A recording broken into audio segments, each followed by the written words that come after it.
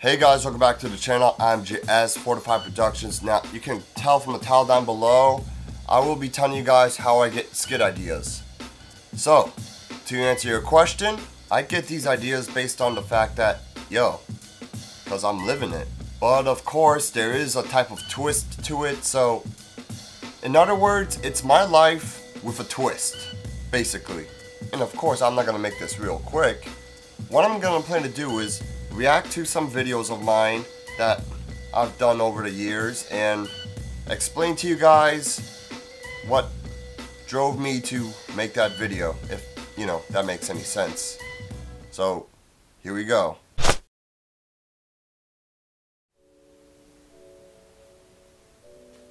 Okay, we got the homies.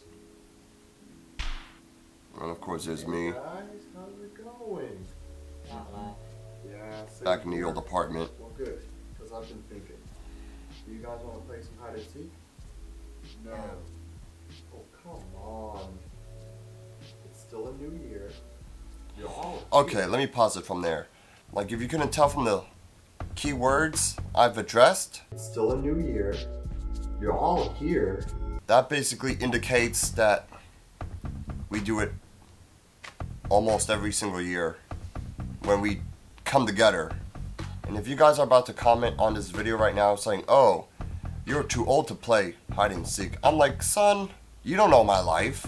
Because let me tell you something, every time that new year hits, we always come together to do something together. And that something is hide and seek.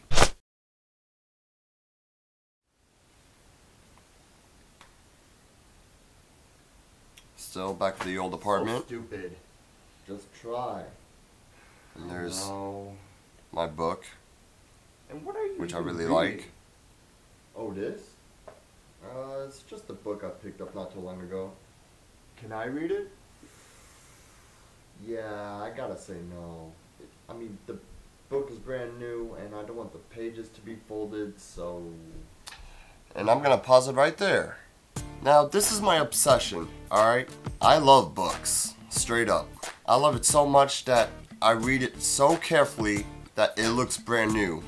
Because I don't want a tear, I don't want to bend, nothing. Then one day, I lent my book to my sister, and she destroyed my book, lost it, and everything, and I was so damn mad. I almost lost my humanity at one point. So I've been so careful with my books that if I'm gonna lend it to somebody, it has to be like they're prepared to pay me back if anything happens to it, you know? And since I was in that mental state, they would rather not read my books, basically. but other than that, we're, we're still good, you know? Let's continue.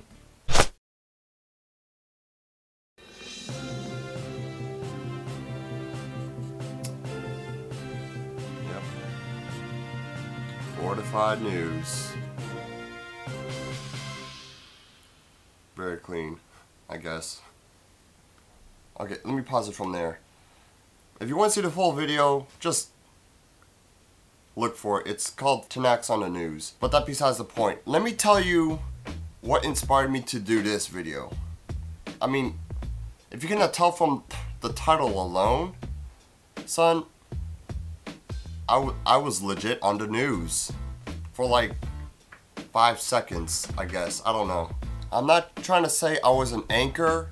I'm just trying to say I was just a passing by civilian and I just did stuff in front of the camera.